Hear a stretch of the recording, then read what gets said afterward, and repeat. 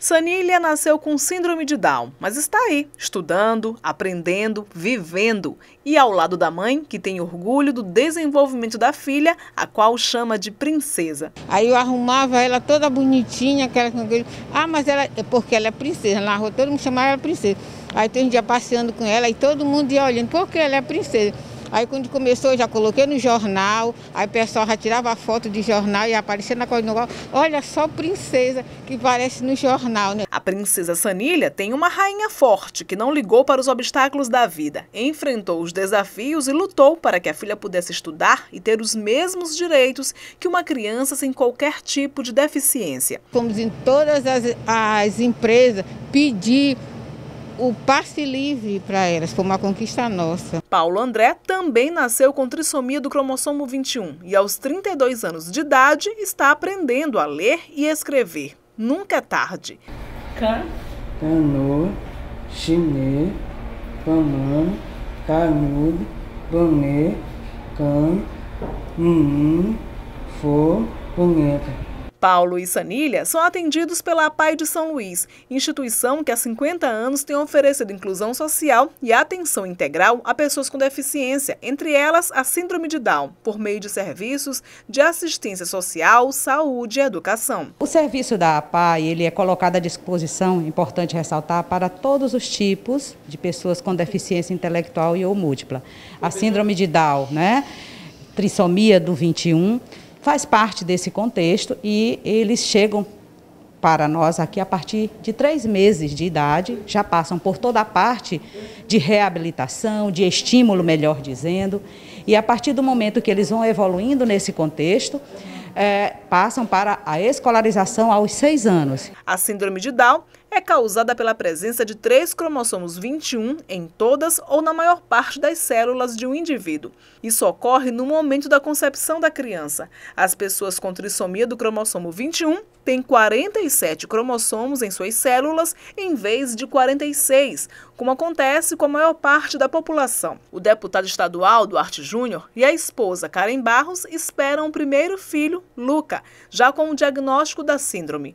A notícia motivou o parlamentar a lutar por melhorias às pessoas com trissomia 21.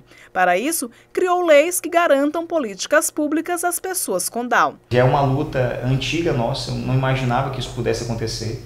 É, é, muita gente fala, ah, geralmente são casais mais velhos, é, pessoas de mais idade. Nós somos novos, então. A maioria não é. A maioria é. a gente já viu que não é, então é, é, nós não esperávamos, né?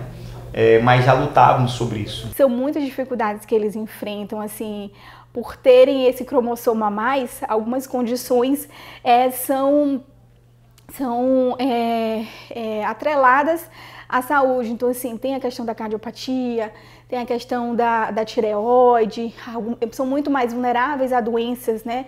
É, respiratórias, então assim, vai ser uma caminhada longa, mas que com certeza Deus vai nos preparar é, diariamente para o Lucas ser, ser de fato um menino muito amado. Doze projetos de lei de autoria do deputado estadual Duarte Júnior já foram aprovados aqui na Assembleia Legislativa e também sancionados pelo governo do estado. São propostas que beneficiam as pessoas com síndrome de Down, entre elas o diagnóstico gratuito e também a gratuidade em eventos culturais e esportivos aqui no estado.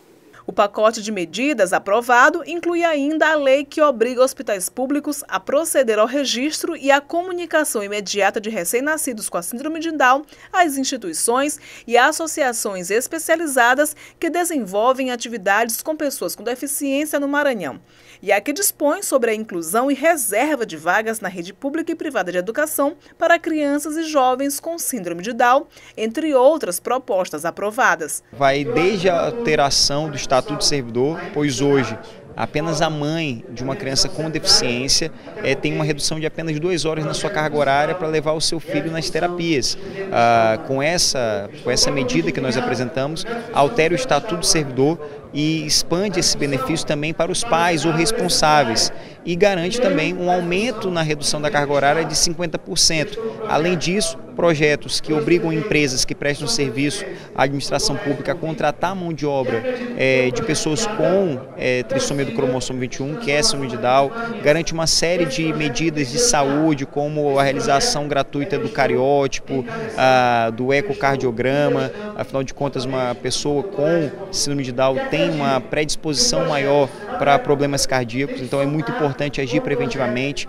O deputado estadual Márcio Naisa, que também tem uma filha com síndrome de Down, a pequena Maria Helena, destacou a importância de projetos aprovados a favor das pessoas com trissomia 21, que possibilitem que todos, independente das condições sociais e financeiras, tenham direitos garantidos. Tem avançado, mas é preciso avançar muito.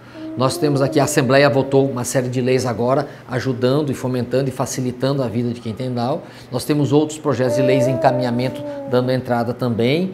A gente viu que recentemente, não só o Romário, mas outros políticos também têm dentro da sua família pessoas com Down e têm trabalhado muito nisso. Então, o importante é a gente tentar realmente diminuir essas diferenças existentes e essas, esse, essa lacuna que existe entre as pessoas, exatamente para dar oportunidade a todos.